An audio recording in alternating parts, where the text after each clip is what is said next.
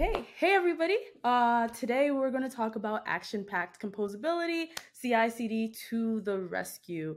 Um, if anything, these slides are going to be bomb, so I hope you enjoy. All right, let's get into it. So, first thing I want to start with is a story that if people have listened to my talk, they're probably tired of this story, but I'm not. Basically, I once worked at a startup that had what I call nightmare midnight releases. Essentially, every weekend night, um, or many week- weekend nights, that's when we would release our code. We couldn't do it when anybody was on the platform, like any of our users, um, because we had such a terrible CI CD pipeline um, that we had to, or none at all actually, but we had to essentially take down the whole site and add in the new code that we needed and then put it back up, which really sucked for me as like a 22, 23, 24 year old because on a Saturday night, I want to be having fun. Um, so that was pretty bad. And in addition to that, if we made any mistakes or human error, which I do a lot, that made the process even longer. So I kind of was like so in love or fell in love with GitHub Actions when I went to a new company and I saw them use this to release their code. It took them like five minutes, and if there was any mistakes, it's really easy for them to roll back the that um those issues. And I was like, wow, what is this? I'm really into it. Um, and those two different experiences really taught me how important and valuable it is to implement a CI CD pipeline even for any personal or freelance projects because i'm really not trying to go through the the process or the issue of having to take down all my code and wait for nobody else to be on it. And it just really helps with my own sanity as a developer so, before I get into all that, I will tell you who I am. And you're probably still wondering, like, what does GitHub Actions have to do with composability? But don't worry, I will tell you soon. So, my name is Rizel. I am a junior developer advocate at a company called GitHub. Um, the place where you all host your code. Um, in the past, I was a software engineer. I also am a leader at an organization called G Code House, which teaches women of color and non binary people of color to code. Obviously, I like empowering and teaching people about tech. So, yep, that's me. And also, I'm a little bit passionate about social media or, or addicted, whichever word you want to use. So go ahead and follow me at Black Girl Bytes on Twitter, dev.to, Hashnode, GitHub, TikTok, YouTube, whatever, all that good stuff. The only place that's different is Twitch at Black Girl Bytes 1 because I locked myself out of my account. So let's get back into the tech stuff because um, who cares about me? But if you're wondering what GitHub Actions are, they are open source, customizable automation for your repository that are written in YAML. You can essentially automate anything, whether it's a push or a pull request. Um, you can automate things to happen, um, or you can automate things to happen when those events are triggered. So let's get to the real question. What does GitHub Actions have to do with composability? You're at a composability summit and you're like, why is this girl talking about CI CD? I actually think so. I've been learning a lot about composable software architecture, and I've learned that it's replaceable, pluggable, scalable, and can continuously be improved.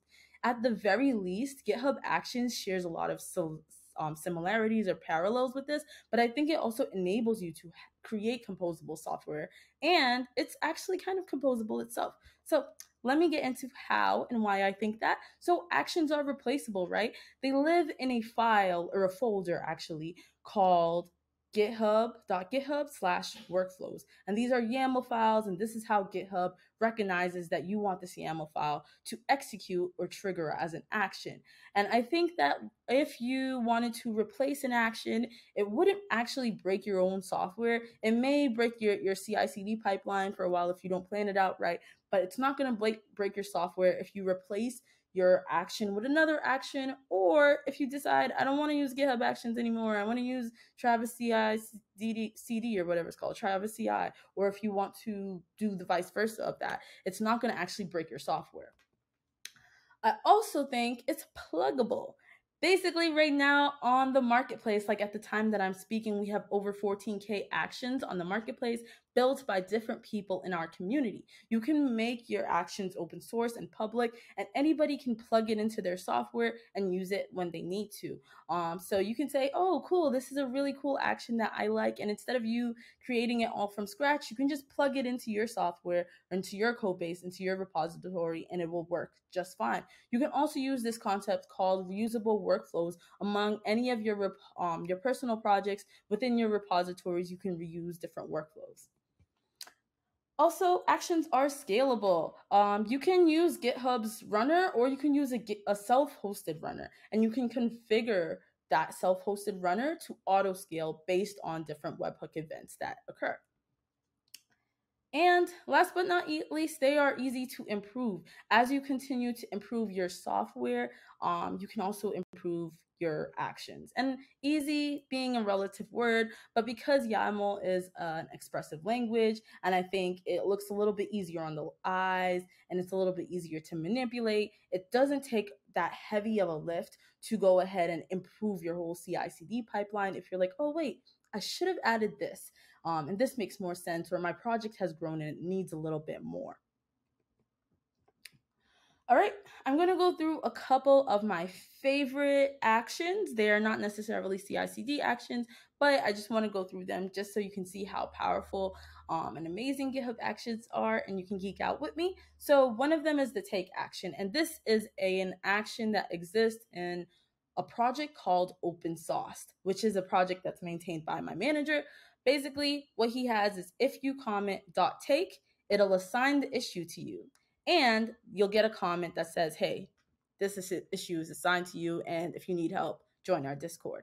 The reason why this is so cool, in my opinion, is because as a new contributor, one of the issues I had was getting assigned the issue. I was kind of confused at which issue I could take. I would like comment, hey, can I have this issue? And then there'll be like seven more people that comment, can I have this issue? And I would never get assigned it.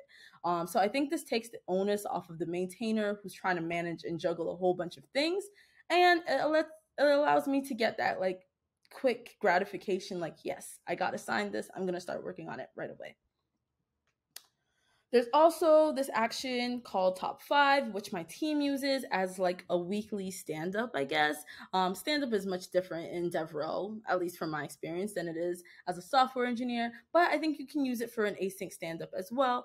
Basically, um, or async daily software engineering stand up. But basically, what this um, action does is it opens up a new issue at the beginning of the week, asking my team, what are we planning to get done? We write it out and then it closes it at the end of the week. This way, my manager or directors or anything, they can just go through these issues and be like, oh, okay, that's what Rizel's been up to, instead of like having to make like go and ask us and talk to us when they may not always have time um, to do so. And I just got to do a little plug for myself. My favorite action, another favorite action, is one that I actually made um, pretty recently. It's not on GitHub Marketplace yet because it's still a work in progress. But basically, I was learning how to use Twitter's API v2 with GitHub Copilot. And I used it to create a tweet.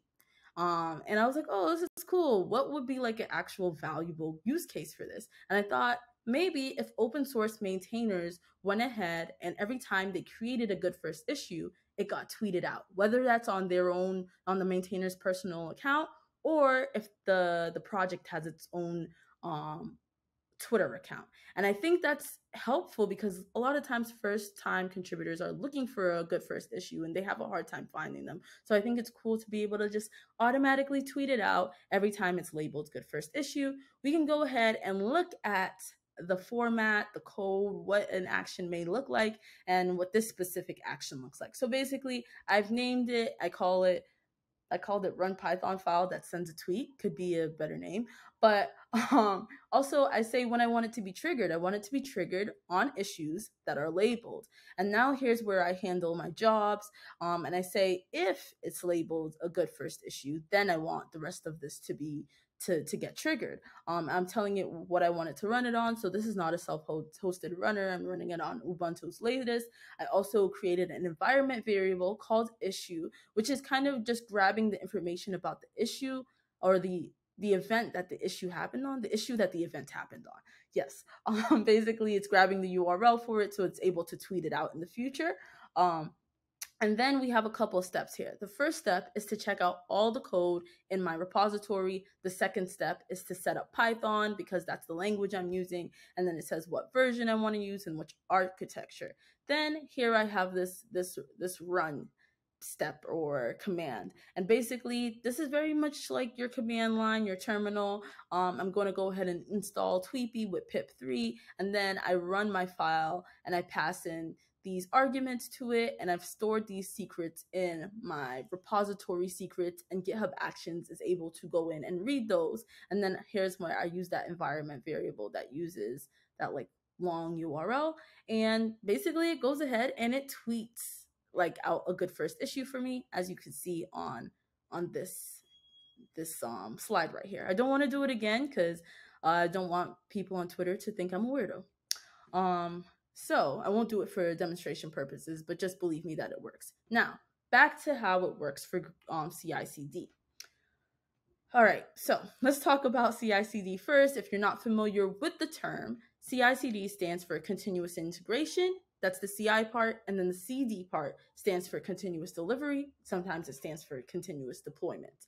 And the reason why it matters it, is it be, is it's because it makes creating automation for builds, tests, releases easier for everybody. Um, and it's all around, it's all built around that that concept, right? Of making small changes, checking them in frequently, and validating those changes. Um, that way you can catch bugs quicker and it enables you to have better code quality and a happier team because your team is now focused on collaboration and fun and the cool parts of coding, not trying to figure out why you broke the production release. And then it also automates that delivery of applications for different environments, whether it's staging, production, or dev, or, or whatever environments you have. So when I first started at GitHub, I was kind of like, I don't know what I'm supposed to do. So I built a Git emoji search app um, we're using Next.js, Tailwind CSS, and Fuse.js. So I'm gonna go ahead and show y'all that right now. Here it is. It's it's so simple. There's nothing really going on except that it has fuzzy search using Fuse.js. So if I typed in GRA, there we got grapes, congratulations, and other words that have those letters in it. Um, and I actually use this for more than tapping into GitHub's API, emoji API. Um, I use this to play around with GitHub Actions and learn more about them. And I learned how they can cover all parts of the CI/CD pipeline. So let's take a look at a couple of them. There, you can have um, this this visual testing. I implemented visual testing on my PRs, right? So every time I opened up a PR, it would give me a live preview and check out the code. Um, so I'm gonna go ahead and show you what that looks like if I open up a PR let's go to, let's make a new tab. Get emoji. And oh, look at that. I already have PRs open, so I don't need to create a new one.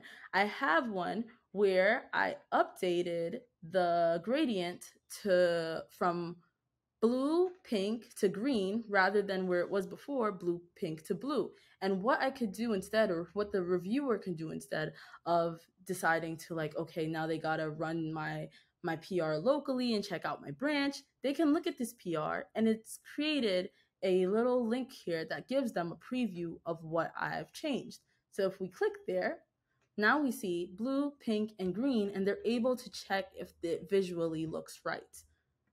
All right, let's go back to the slides. All right. So we also have the ability to do some unit testing where you can go ahead and run npm CI, npm run build, and npm test um, every time there's a push or a pull request or any time that you feel your project needs unit needs unit tests to be run. Um, I also recently learned that you can run visual regression tests as well. Like if you're using Applitools or Cypress or Maple or one of those different tools, you can go ahead and say on a push, on a pull request, on whatever, I want us to be able to run these visual regression tests. Um, similarly, you can do accessibility testing. There is a project called Pa11y um, hopefully I'm pronouncing that right, but basically you can do, do run Pa11y and you can get an understanding of what vulnerabilities you have in your code that aren't accessible for people who need that accessibility. And another thing is you can check if there's security vulnerabilities with CodeQL. Um, and in this project, um, we're checking on a push, we're checking on a pull request, but we're also checking on a cron job or a schedule regularly to see if there's any security vulnerabilities within our project. So let's also talk about CD because that was a lot of like the CI part where we're talking about um, testing and, and building our application. We can also use deployment, I mean, we can also use GitHub Actions to deploy our code, to do releases. There's an action that enables you to generate release notes. There's one that um, handles your production deployment, and you can also use it to package your code. What I'm going to show you today is how we can package our code into a Docker image and publish it on the GitHub container registry. So let's go ahead and get into that. I'm going to go and create a new repository. And let's see, no template. The owner is me, and I'm just going to call this um, publish to GCR, GitHub's container registry. I'm going to make this public and I'll just add a README file because I have a habit of doing that. And we're going to create a repository. Um, I'm going to go ahead and open this up in github.dev by pressing the dot uh, or the period on my keyboard. Um, I've been doing this now that I've um, realized how lazy I am. I just want to edit files right there.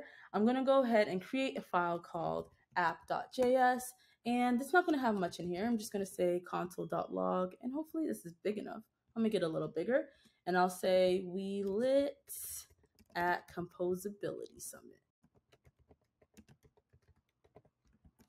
very clean code amazing beautiful um now we're gonna go ahead and create a docker file you guys don't have to you all don't have to watch me do that one by one so i'm gonna copy and paste it for for um time's sake so give me a quick second to copy that code. And here we have the docker file. It's gonna run my app.js that's console log logging all of that. And then the part that we care about is we're going to go ahead and make our own workflow or our GitHub action. So, um, like I had mentioned to you all earlier, is I lost the tab.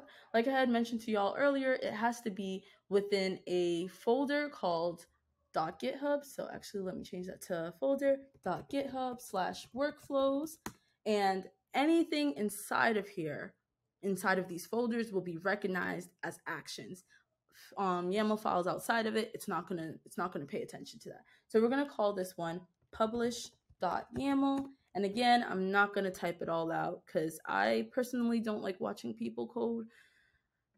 It's a little boring to me. So we're gonna go this way. I'm gonna copy this. I'm gonna paste it, and we're going to go ahead and check this out. Make a little smaller so we can see more of the file. So I've named this file publish, and I'm saying that I want this to be triggered whenever we push something to this repository. Um, I've called this, I'm going to call this publish um, to GCR.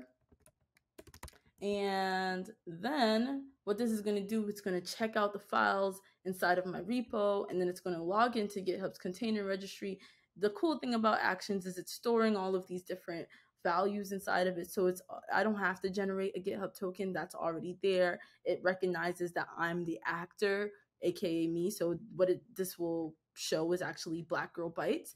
Um and then i'm gonna give this a name for this this step.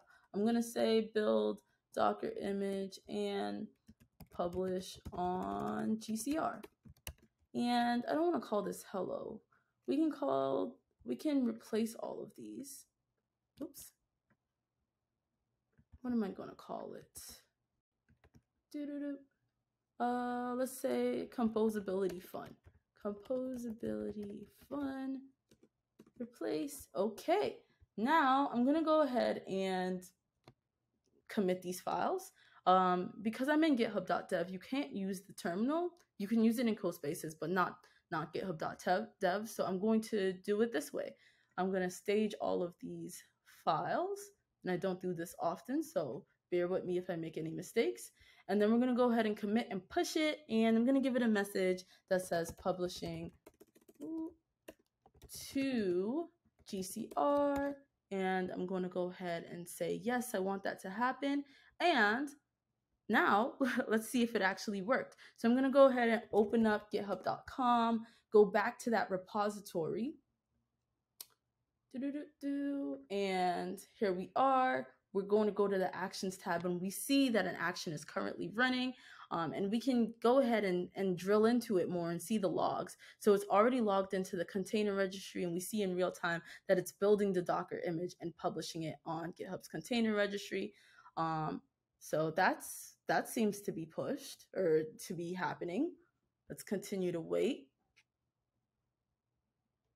Do-do. Cool, that's done. And now it's doing the post cleanup and everything's completed. And what we're to go ahead and see if we scroll down is we do have a package here and we can click it and now we see that on GitHub's container registry, we have this Docker image of me just console logging that we're lit at Composability Summit.